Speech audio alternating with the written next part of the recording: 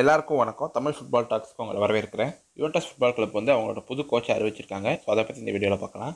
நேற்று வந்து Juventus football club அவங்களோட கோச்சாக இருந்த மொரிசியோ சாரியை வந்து ஃபயர் பண்ணிட்டாங்க. அதாவது மொரிசியோ சாரியை சாக் பண்ணிட்டாங்க. ஸோ அதுக்கடுத்து வந்து புது கோச் யார் அப்படின்ற கேள்வி இருந்துச்சு ஸோ இந்த நிலமையில தான் யுவன்டஸ் வந்து அவங்களோட புது கோச்சை புது கோச்சை வந்து அறிவிச்சிருக்காங்க. அந்த புது கோச் வேறு யாரும் இல்லை. முன்னாள் யுவன்டஸ் பிளேயர் ஆண்ட்ரியா பெர்லோ தான். ஆண்ட்ரியா பெர்லோ வந்து ஒரு Italian national team legend and அவர் வந்து ஃபார்மர் ஏசி மிலான் பிளேயர் கூட யுவன்டஸ்க்கு கூட விளையாண்டார். யுவன்டஸ்லேயும் ரொம்ப நல்லா பெர்ஃபார்ம் பண்ணார். ஸோ அவர் வந்து யுவன்டஸ்க்கு வந்து ரெண்டாயிரத்தி பதினொன்றுலேருந்து ரெண்டாயிரத்தி பதினஞ்சு வரைக்கும் விளையாடிருக்காரு. நூற்றி பத்தொம்போது தடவை விளையாடிருக்காரு. அதாவது யுவன்டஸ் அண்டர் டுவெண்ட்டி த்ரீ டீமோட கோச்சாக தான் ஃபஸ்ட் இவரை சூஸ் பண்ணாங்க. ஸோ திடீர்னு வந்து மௌரிசியோ சாரியை இவங்க சேக் பண்ண உடனே இப்போ வந்து இவர் வந்து யுவன்டஸோட ஃபஸ்ட் டீம் கோச்சாகவே அறிவிக்கப்பட்டிருக்காரு. இது வந்து எப்படி பார்த்தாலும் கொஞ்சம் ரிஸ்கியான மூவ் தான்.